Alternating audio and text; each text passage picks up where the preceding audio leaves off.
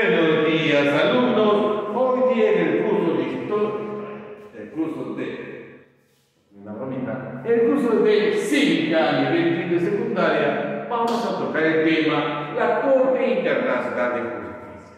Cuando escuchamos la Corte Internacional de Justicia, nos viene a la mente el diferendo marítimo con Chile, en la cual, para evitar un enfrentamiento armado, recurrimos a la Corte Internacional de Justicia con, sede en la ciudad holandesa de La Haya, de La Haya, para que resuelva ese diferendo. ¿Qué es la Corte Internacional de Justicia? Es el órgano judicial de las Naciones Unidas. Sus fallos son inapelables. ¿Y dónde se encuentra? Se encuentra ubicado en la ciudad de La Haya, Holanda, también denominado Países Bajos. ¿Qué hace este, esta corte? Esta corte establece los principios para que no sucedan enfrentamientos armados, recurriendo a las leyes internacionales, fueron establecidas por la Carta de las Naciones Unidas. Vamos a ver cuáles también son sus características. Lo principal, su objetivo principal es lograr que la solución de controversias jurídicas situaciones internacionales para evitar que el enfrentamiento armado. ¿Por qué? Porque el principal objetivo es garantizar la paz. También vamos a ver quiénes lo, lo integran. Son 15 magistrados. Señores, uno de los magistrados de hace cerca de cuatro décadas, hasta de cinco décadas, fue el expresidente del Perú, el señor José Luis Bustamante Rivero, que fue el primer miembro y después tuvo dos años como presidente de la Corte Internacional de Justicia. Nosotros siempre cuando escuchamos Corte Internacional de Justicia nos referimos a qué? Nos referimos vivir en nuestra mente al diferente marítimo con Chile respecto a la línea donde acaba nuestro país intacto pero había una controversia porque, según la proyección, los pesqueros peruanos no podían, no podían pescar dentro de cierto margen porque los chilenos decían que era parte de su mar. Ahora sí, muchachos, vamos a explicar. La Corte Interamericana de Justicia, la Corte Interamericana de Justicia, es el órgano judicial Es el órgano judicial principal de las Naciones Unidas. Es el órgano principal de las Naciones Unidas. ¿Y qué se encarga? Encargada de decidir, conforme al derecho internacional, las controversias de orden jurídico entre Estados y emitir opiniones consultivas respecto a cuestiones jurídicas, lo que se llaman sus fallos. Y te dirán, profesor, ¿qué es controversia? Controversia es discusión, diferencia,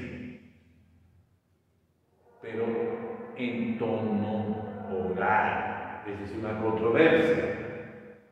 O sea, no llegar al enfrentamiento armado, a la pelea, fue establecida por la Carta de las Naciones Unidas en 1945. Entonces vamos a pasar. Establecida por la Carta de las Naciones Unidas en 1945. Institución cuya sede, atención, ¿ah? institución cuya sede se encuentra en la ciudad de La Haya. ¿Y dónde queda la ciudad de La Haya? Se encuentra ubicada en los Países Bajos, al cual mayormente lo conocemos los peruanos como el país de Holanda. E incluye a todos los miembros de las Naciones Unidas, más de 100 miembros de las Naciones Unidas. Características. ¿Cuáles son sus características? Características. Vamos a ver su objetivo principal. Su objetivo principal es lograr el arreglo de las controversias o situaciones internacionales susceptibles de conducir al quebrantamiento de la paz, o sea, a las controversias, a los diferendos, el enfrentamiento armado, porque si hay un enfrentamiento armado, ya no va a haber paz, se quebranta la paz. Y eso trata de evitar la Corte Internacional.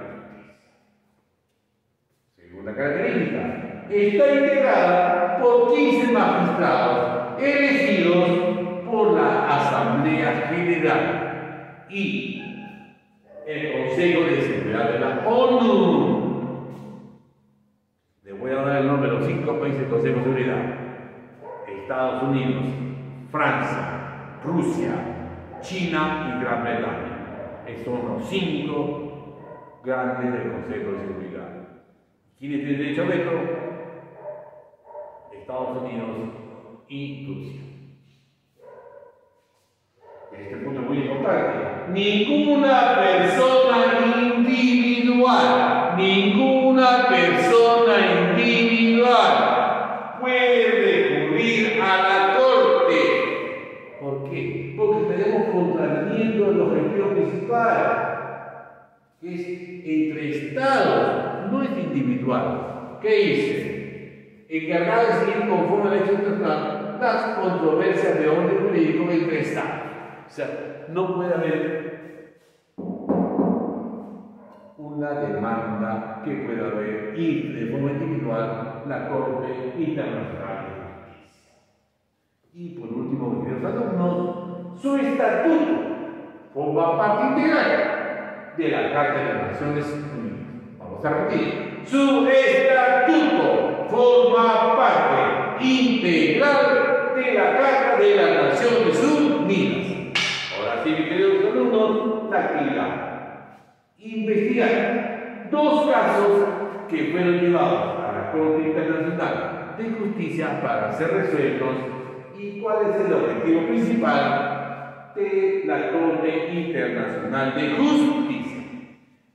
¿Cuál es el objetivo principal de la Corte Internacional de Justicia? Eso es todo por hoy, mis amados y queridos alumnos. Nos vemos la próxima clase. Y un consejo, si van a salir, colóquese doble mascarilla y si van a viajar en transporte público, lleven su careta. Y la última recomendación, no se olviden de tener en casa su mochila de emergencia, porque vivimos en un país altamente sísmico y en cualquier momento puede, puede sobrevenir un sismo de gran intensidad. Eso es todo por hoy muchachos, nos vemos la próxima clase. Cuídense mucho.